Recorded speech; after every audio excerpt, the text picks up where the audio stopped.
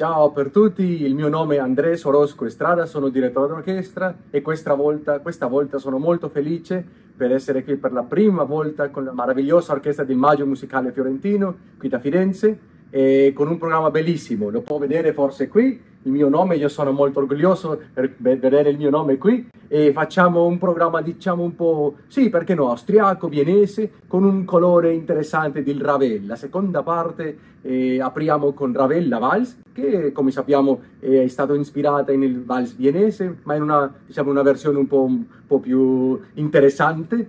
E dopo la seconda opera, il secondo, secondo pezzo della seconda parte questa, Strauss, del Rosenkavalier, questa è una suite del Cavaliero della Rossa, un'opera anche molto vienesa, molto austriaca, ma che sembra eh, con questi sapori, diciamo, questa bellezza vienesa del vals e di altre cose. Questa è la seconda parte. Nella prima parte suoniamo anche una sinfonia di uno di questi grandi maestri austriaci, Haydn, una sinfonia di Haydn in, in Do maggiore, una sinfonia bellissima, interessante, con, con qual, diversi colori, ma una, una, diciamo una forma molto classica. E dopo di questo anche del maestro Haydn, un solista dell'orchestra, lo potete vedere qui, Marco Salvatori, il, uno dei oboe principali dell'orchestra, un oboista meraviglioso che abbiamo fatto già tante prove, adesso siamo pronti per i concerti, suonerà il concerto per oboe di Haydn e per me è un grande piacere suonare con lei, con questa meravigliosa orchestra. E qui dal Maggio Musicale Fiorentino Firenze e lo facciamo anche una seconda volta. Io sono molto felice di fare questo concerto due volte e la seconda la facciamo in Arezzo